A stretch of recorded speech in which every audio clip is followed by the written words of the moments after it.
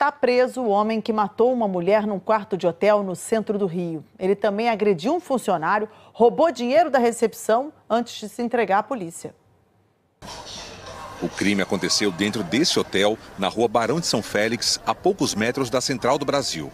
No sábado de manhã, Rosicréia Ribeiro Criciúlo, de 53 anos, e Tiago Ribeiro do Espírito Santo ocuparam o quarto 114 e ficaram por algumas horas. Mais tarde, Tiago foi flagrado nessas imagens do circuito de segurança na recepção do hotel. Funcionários disseram que ele pediu uma dose de conhaque. Logo depois, Tiago invadiu a área restrita e partiu para cima do funcionário que foi agredido. O recepcionista disse para a polícia que Tiago usava um objeto cortante e exigiu dinheiro. Nós conseguimos falar por telefone com um funcionário que foi agredido. Ele me atacou, veio para cima de mim, pegou no meu pescoço, me amarrou meu pescoço todinho aqui, não sei com quem foi também. Ele chegou pedindo dinheiro da, da portaria. O menino deu o dinheiro do caixa a ele. Eu quis trancar a gente num quarto aqui. Depois de conseguir pegar 300 reais, o agressor fugiu. Os funcionários foram até o local onde Tiago esteve com Rosicréia e encontraram a mulher desacordada, com marcas no pescoço. Eu bati na porta, ninguém atendeu. Quando eu empurrei a porta, a moça estava morta. Aí liguei para a polícia, liguei para os bombeiros, para o SAMU. A PM e o SAMU foram até o hotel e constataram que Rosicréia já estava morta. Horas depois do crime, Tiago se apresentou aqui na delegacia da Praça da República. Os policiais disseram que ele estava muito nervoso e que ele confessou que atacou Rosicréia. Ele recebeu voz de prisão em flagrante. Tiago foi levado para a delegacia de homicídios da Barra, onde prestou um novo depoimento. Ele foi autuado por feminicídio.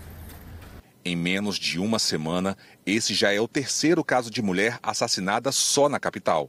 Na terça-feira da semana passada, Aline da Conceição, de 33 anos, foi morta a tiros pelo ex-marido Jeremias Benício, de 39 anos. O crime aconteceu dentro da casa dela, na comunidade do Guarabu, na Ilha do Governador. Ele não aceitava o fim do relacionamento. Um dia antes, em Sepetiba, a vítima foi Marta Duarte de Oliveira, de 29 anos. Ela foi atacada pelo ex-companheiro a facadas. Dois dias depois do crime, Gabriel Rodrigues, que é lutador de jiu-jitsu, foi preso. Marta já tinha cinco medidas protetivas contra ele.